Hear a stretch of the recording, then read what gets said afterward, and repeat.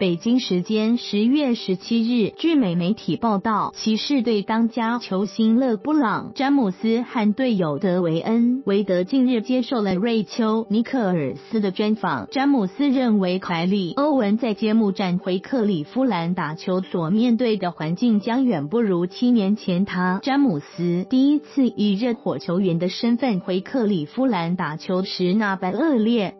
每个人都很好，每个人都很好。詹姆斯在采访中说道：“去年 KD 回厄克拉荷马打比赛，今年保罗·乔治将回印第安纳。你知道德维恩·韦德将会回芝加哥，凯里来到克里夫兰。不，这些都不能和当初我遇到的相比。”二零一零年夏天，詹姆斯宣布离开骑士队，并加盟热火队。两千零十至十一赛季，热火第一次客场挑战骑士的比赛中，跨带球馆不得不安排额外的警力来控制现场秩序。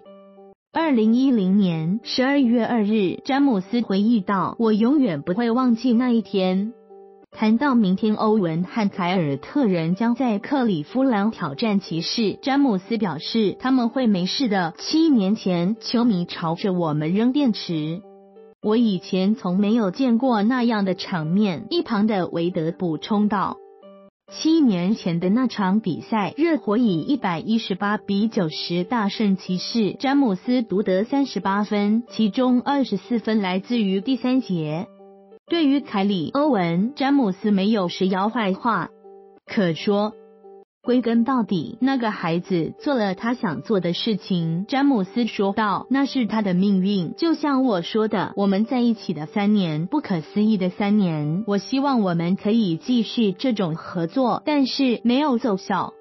当瑞秋向詹姆斯指出他不愿提欧文的名字，而是用那个孩子来代替时，詹姆斯说道：“哦，那个孩子就是那个孩子，我以前也是那个孩子。”罗森。